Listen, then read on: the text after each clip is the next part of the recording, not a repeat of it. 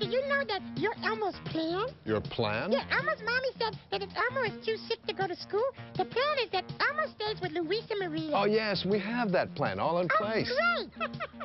You never know when your child will be too sick to go to school. So have a plan ready so your child can stay home and get healthy. louisa's a the man, because he's almost plan. The man, because he's almost plan.